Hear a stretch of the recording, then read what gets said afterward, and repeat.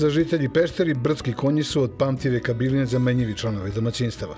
Bez njih je u vreme snežnih smetova bila nezamisliva bilo kakva komunikacija, a vatra u domovima ljudi zavisila od snage upornih i mardivih životinja, koje su ogrev izvlačile iz gotovo neprohodnih vrleti.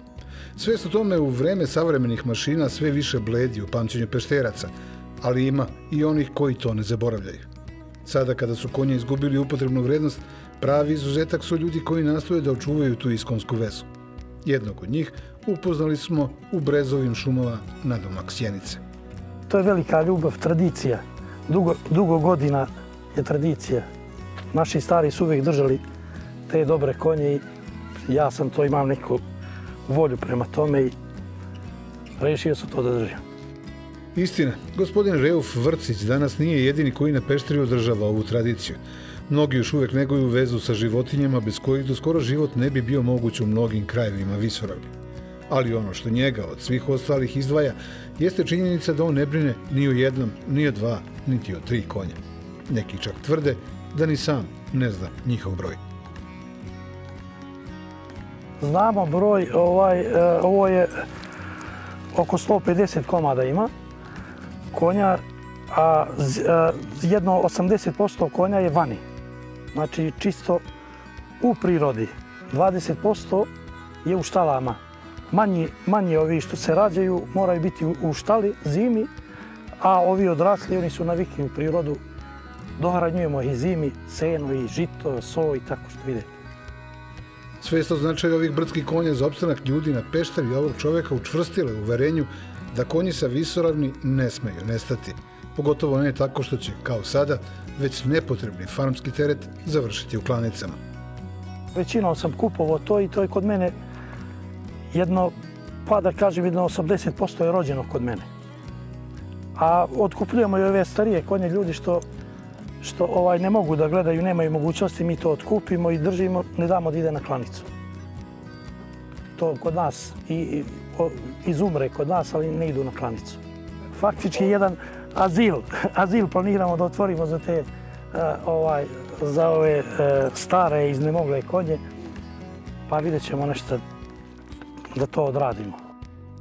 Naravno, ovakva plemenitost gospodina Reufa i porodice Vrcić uopšte ima svoju cenu a ono u ovom slučaju daleko prevazilazi i sredstva i vreme koji se ljudi obično odriču zarad nekakvog hobija. Samo da bi pregurali zimu, ovim nesputanim lepotanima treba obezbediti ne male količine hrane. Po jednom grlu otprilike negde oko 300 bala bi trebalo da, da, da bude ovaj, da bi, da bi se ono prehranilo. Pa sve zavisi od zime. Kod nas su ekstremne zime, nekad, nekad nisu zavisi sve. Nekad bude 3-4 mjeseca se hrane, nekad 2 mjeseca, nekad 6 mjeseci, sve zavisi od, od godine. Mi pripremimo za 6 mjeseci, ako bude za 3, to moramo stane za sljedeću godinu i tako.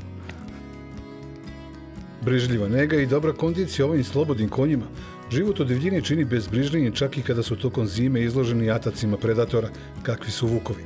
Snažno krdo za njih je pokazalo se preveliki zalogaj vukovi e, ne mogu njima ništa. U 90%, pošto njih ima dosta, oni e, imaju krda svoje brane se. Znači, vuk ne može njima ništa. Redkost, redkost ovaj, da, da, da sam imao ovaj, štetu od vukova.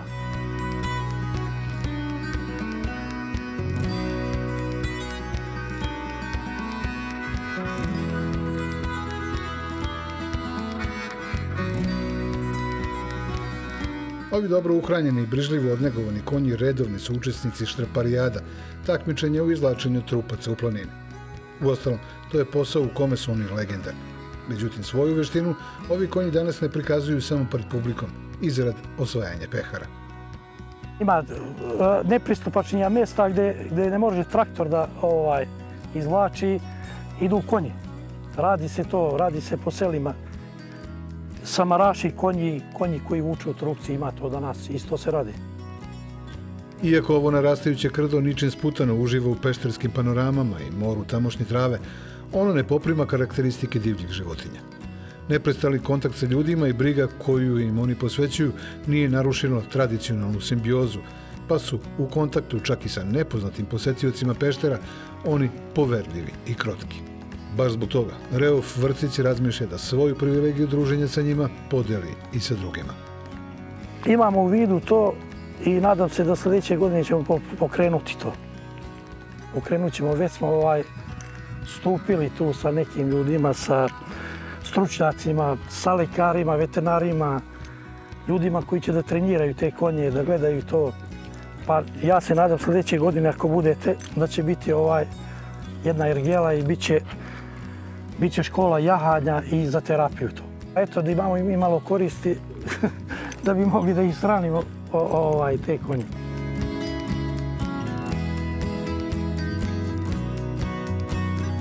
Dok se tako nešto ne dogodi, pa čak i ako se ne dogodi, ovakvi prizori će, verujemo, ostati istinska atrakcija Peštera.